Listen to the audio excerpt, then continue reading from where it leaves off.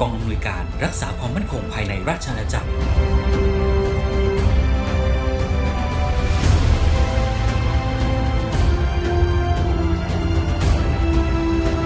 เสนอ รายการประชาลัฐพัฒนาสันติสุข สวัสดีครับคุณผู้ชมครับวันนี้นะครับจะพาคุณผู้ชมมาสัมผัสวัฒนธรรมการดำรงชีวิตความเป็นอยู่ที่หลากหลายของชุมชนที่นับว่าเป็นชุมชนที่สร้างความรักความสามัคคีของประชาชนทั้งไทยพุทธและมุสลิมนะครับ เรามารับชมความงามอันสงบสุขที่ชุมชนศรัทธา เมืองยาลอ ที่ตำบลท่าสาบอำเภอเมือง จังหวัดยะลาแห่งนี้ครับเพราะว่าที่นี่นะครับเขาได้มีการร่วมกันจัดงานตลาดนัด ภูมิปัญญาสืบสารวัฒนธรรมท้องถิ่น 172 ปี เมืองยาลอท่าสาประจำปี 2562 เป็นยังไงไปติดตามเลยครับ โดยเทศบาลตำบลท่าสาบ ในฐานะที่เป็นองค์กรปกครองส่วนท้องถิ่นจำเป็นอย่างยิ่งที่จะต้องส่งเสริมทำนุบำรุงศาสนา และอนุรักษ์ศิลปวัฒนธรรม ประเพณีท้องถิ่น อีกทั้งยังเป็นหน่วยงานที่มีความใกล้ชิดกับประชาชนในท้องถิ่นมากที่สุด และตามอำนาจหน้าที่ได้กำหนดให้เทศบาล มีหน้าที่บำรุงศิลปะจารีตประเพณี ภูมิปัญญาท้องถิ่น และวัฒนธรรม อีกทั้งยังได้ตระหนักถึงความสำคัญของการส่งเสริม ให้ประเพณีและวัฒนธรรมท้องถิ่น ได้เป็นที่รู้จักของประชาชนอย่างแพร่หลายและยั่งยืนต่อไป จึงได้จัดงานตลาดนัดภูมิปัญญา สืบสารวัฒนธรรมท้องถิ่น ภายใต้แนวคิด 172 ปี เมืองยารอ แอดท่าสาบ เพื่อเสริมสร้างความสัมพันธ์ และความรักความสามัคคี ระหว่างพี่น้องไทยพุทธ มุสลิม และประชาชนทั้งสองฝั่งคลอง เทศบาลตำบลท่าสาบ เทศบาลนครยะลา ที่มีมายาวนาน ให้มีความยั่งยืนตลอดไป เป็นการส่งเสริม และอนุรักษ์ศิลปะการแสดง การละเล่นพื้นบ้าน และภูมิปัญญาท้องถิ่น ให้คงอยู่คู่กับท้องถิ่น เป็นการเปิดตลาดการซื้อขาย ให้บริการแก่ประชาชนทั่วไป เพิ่มมูลค่าทางเศรษฐกิจชุมชน ส่งเสริมอาชีพ ให้แก่คนในตำบล สร้างรายได้เข้าสู่ท้องถิ่น สำหรับกิจกรรมในงานประกอบด้วย การทำขนมพื้นบ้าน อาหารพื้นบ้าน การละเล่นพื้นบ้าน สาธิตการวาดภาพและศิลปะต่างๆ กิจกรรมการแสดงดนตรีสด และการแสดงศิลปะวัฒนธรรมสำหรับความเป็นมาของโครงการที่เราจัดขึ้นก็คือตลาดนัดภูมิปัญญาสืบสานวัฒนธรรมท้องถิ่น 5 นะครับ เริ่มแรกก็คือเราต้องการ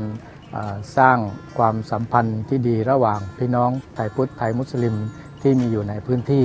ทางเทศบาลเองก็ได้คิดเอากิจกรรมที่เป็นวัฒนธรรมที่มีอยู่ในพื้นที่นะครับ ก็มาจัดขึ้นในพื้นที่โดยเฉพาะเราเลือกพื้นที่ของบริเวณท่าแพท่าสาบเก่า ซึ่งเป็นเคยเป็นที่ตั้งเมืองยะลาเก่าด้วยตรงนี้นะครับในเรื่องของพหุวัฒนธรรม โดยเฉพาะในพื้นที่ของท่าสาบเองเนี่ย โดยพี่น้องไทยพุทธไทยมุสลิม แล้วก็ยังมีพี่น้องที่มีเชื้อสายจีนอยู่นะครับ ก็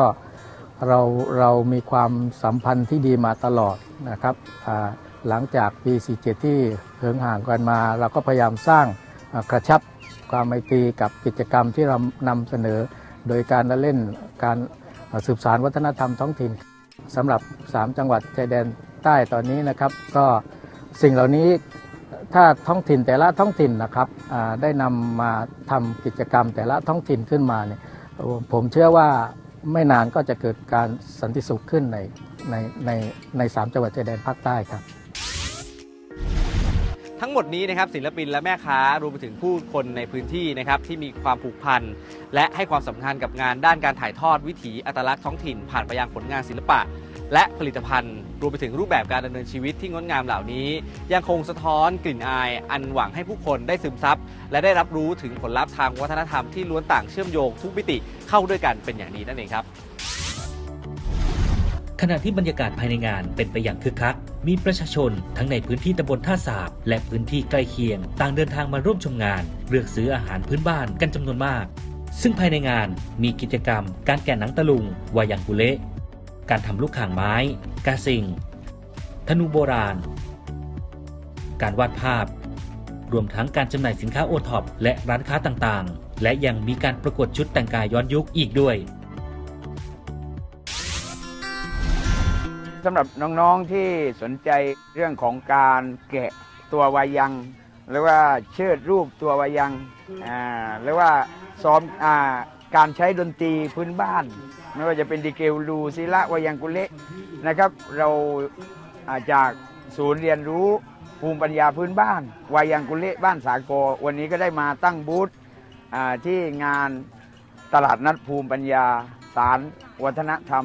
ครั้งที่ 5 ของตำบลท่าสาบตอนนี้อยู่ที่ท่าเพท่าสาบถ้าใครสนใจเชิญแวะเวียนเข้ามาได้นะครับ ที่ซุ้มของเราหรือว่าบูธของวายังกุเละ และถ้ามาไม่ไม่ทันงานนี้ก็ให้ลงไปที่พื้นที่บ้านสาคอนะครับ หมู่ที่ 4 บ้านสาคอตำบลท่าสามอำเภอเมืองจังหวัดยะลา ซึ่งจะเป็นเปิดเป็นแหล่งเรียนรู้ชุมชนตรงนั้นอ่าก็จะมีการสอนการแกะรูปหนังการเชือดหนัง แล้วก็การใช้เครื่องดนตรีพื้นบ้าน พื้นที่บริเวณหมู่ที่ 1บ้านท่าสาบนี้ ในอดีตนั้นเป็นเมืองยะลาที่มีความเจริญรุ่งเรือง เนื่องจากเป็นเมืองท่าเรือขนาดใหญ่ในการขนส่งทางน้ำในแม่น้ำปัตตานี จึงเป็นแหล่งชุมชนใหญ่ที่อยู่ด้วยกันอย่างหลากหลาย เป็นพหุสังคมพหุวัฒนธรรม ทั้งชาวไทยนับถือศาสนาพุทธ ชาวไทยเชื้อสายจีน และชาวไทยที่นับถือศาสนาอิสลาม อย่างกลมกลืนด้วยความรักความสามัคคีหลายชั่วอายุคน มาจนถึงปัจจุบันประชาชนมีอาชีพค้าขาย โดยใช้เส้นทางเรือในแม่น้ำปัตตานีเป็นหลัก จึงเป็นแหล่งการค้าคมนาคมที่สำคัญ ให้วิถีชีวิตความเป็นอยู่ของชุมชนแห่งนี้ในปัจจุบัน ยังยึดถือความเป็นพันธมิตร พึ่งพาอาศัยซึ่งกันและกัน ดังนั้นการจัดงานสืบสานวัฒนธรรมภูมิปัญญาท้องถิ่น ของเทศบาลตำบลท่าสาบ จึงเป็นการถ่ายทอดถึงความเป็นมา ในวิถีชีวิต ตลอดจนวัฒนธรรมต่าง ๆ ของบรรพบุรุษในอดีต ซึ่งถือว่าเป็นการอนุรักษ์วัฒนธรรมดั้งเดิม โดยเฉพาะการมีวัฒนธรรมแบบผสมผสานกันแบบพหุสังคม เพื่อส่งเสริมให้เยาวชน และประชาชนตระหนักถึงคุณค่าความงดงามของวัฒนธรรมท้องถิ่นในอดีตที่มากมาย ด้วยการแสดงการละเล่น การปฏิบัติตน การอยู่ร่วมกันอย่างลงตัว โดยการเคารพในวัฒนธรรมของแต่ละชุมชน และเผ่าพันธุ์ และมีความสัมพันธ์อันกลมเกลียว เป็นหนึ่งเดียวกันอย่างมีความหมาย ในพื้นที่ประวัติศาสตร์ที่มิขาดวิถีพหุวัฒนธรรม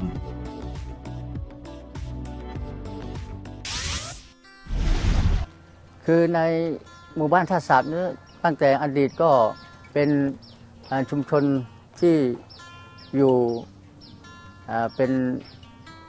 แบบพหุวัฒนธรรมนะครับ มีศาสนาพุทธและศาสนาอิสลามอยู่ด้วยกันครับ ทุกวันเสาร์ก็มีชาวบ้านมากมายที่มาขายของ แล้วก็ไม่ว่าจะเป็นไทยพุทธไทยมุสลิมก็มา ร่วมกันนะขายของที่ตลาดนัดท่าแพแห่งนี้ครับครับ เพราะฉะนั้นผมก็ขออยากจะเชิญเชิญชวนผู้ชมทุกท่านนะครับแวะมาเที่ยวที่ท่าแพเทศเทศบาลตำบลท่าสาบครับ